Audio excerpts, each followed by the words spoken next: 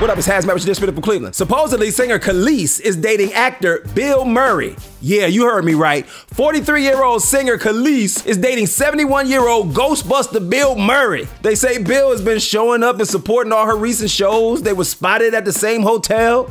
Bill, I hate you so much right now. But go ahead, player. Her milkshake used to bring all the boys to the yard, but I guess that milkshake is a little old and past due. I could have woke up in the middle of the movie Groundhog Day and wouldn't see this coming. Ever since NBA star Zion Williamson had his gender reveal with his girlfriend the other day, it's been a mess. First, a porn star slash OnlyFans model came out like, wait a minute, he was with me a week ago. Now, another young lady has come out talking about how he be flying her out, posting pics of her sitting courtside at the games. Zion and Ja Morant, the number one and two picks the same year. One's addicted to playing with guns, the other's addicted to playing with buns. This has been HazMatt with your Dish Minute from Cleveland.